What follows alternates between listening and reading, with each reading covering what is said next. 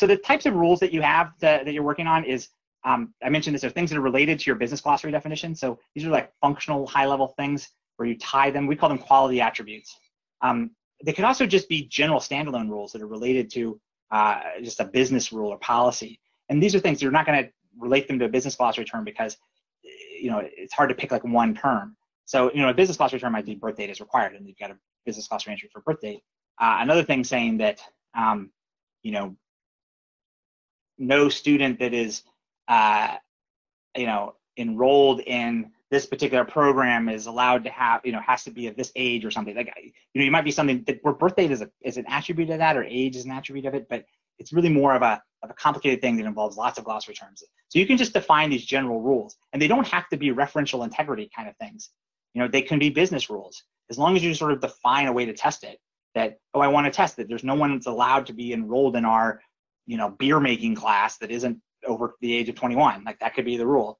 And um, and you can build a way to test that and to measure it and assess that. Um, and and that's that's not something that's going to be a database rule, right? That's something that's going to be a business rule. Um, but you can still use data quality to monitor it. Uh, the last one is this concept of database integrity, and you can set these up too. You know, you can define a rule based on you know this foreign key relationship or whatever. Uh, again, that is um, sort of simple to identify. It takes there's a high volume of that stuff, and most oftentimes it's not a problem because the databases enforce it pretty well. So we don't really recommend spending a whole lot of energy on that because there's also a fair amount of sort of native tools in a lot of databases to do that.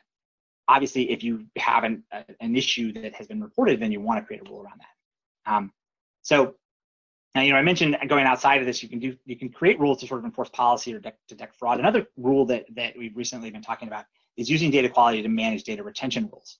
So you can set up a rule. You know, if someone talks about what's the life cycle of your data, and one of the things is like we don't want to keep any, you know, applicants or applications on you know in the database for more than two years or whatever, or anyone who is requested to be forgotten has can't have their data in there for more than one year. Um, that's a data retention policy rule, and you can set up a data quality rule to monitor to assess that and to uh, you know to report things that are exceeded that that rule. Um, so functional rules, you want to, you know, the, the finance thing is sort of, it's similar to the way that we do our, our business glossary. You've got your high level, um, you know, business definitions, uh, system agnostic definitions for things like, oh, business birth date is required. Um, there's different validation types, the valid values, required, a data type, invalid characters, length, range, regular expression, complex validations, which could be sort of more complicated things. You know, there's all sorts of different ways to do to do validations. Um, uh, but the point is that, that, that you know at the functional side, you're really talking about it not uh, system specific. You know, you don't have a rule that's like, you know, birth underscore date in and per table, you know, can't be null, right? That's a, that's uh, not a good functional rule name. So technical rules are the things that really define how to test them and how to monitor them. So it gives you guidelines for assessment, research, and monitoring, and documenting where these things live and how to test them. Uh, they allow for development of assessment reports or for the automated monitoring that we have with the cookbook. Uh, and we're able to do that with our integration suite. I mentioned that we do system integration. So we have a, a packaged uh, middleware component that sits within your network and gets configured to talk to all your data systems. And it does three main things. It does the um, technical metadata synchronizations for your data catalog stuff, which we've talked about in other meetings. It does reference data synchronization, which is somewhat related to this, but but the point of this, it does your data quality monitoring. So if you've defined technical rules up in the cookbook, it'll pull those and run them and generate the assessments and push them up. And if the assessments have exceeded the threshold, it'll start an issue. Right? So that's how that, that works. So how do you do a, a data quality rule? Now our system, there's various tools for doing data quality monitoring. We take a very pragmatic approach.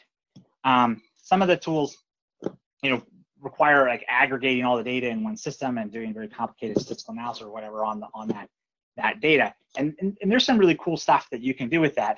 But our approach is to say, we're going to go test the data where it lives in the systems that it lives. Now, that doesn't stop you from aggregating data in your own warehouse and testing things there to compare things between systems or whatever.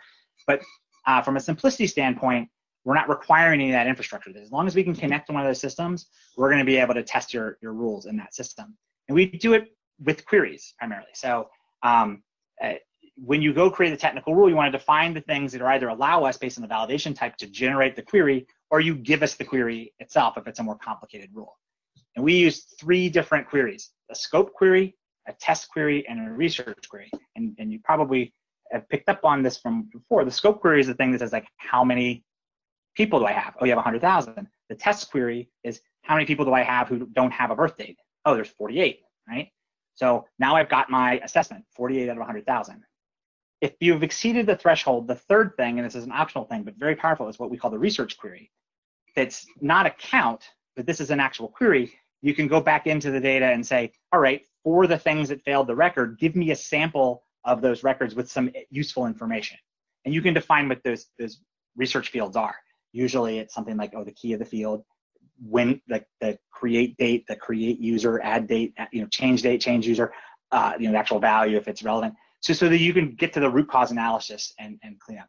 Um, you, know, you want to kind of make sure that you're just looking at a sample, that you're not, you know, creating something that's going to pull in a million records. We have that sort of baked into our integration. There's, there's hard-coded caps for that.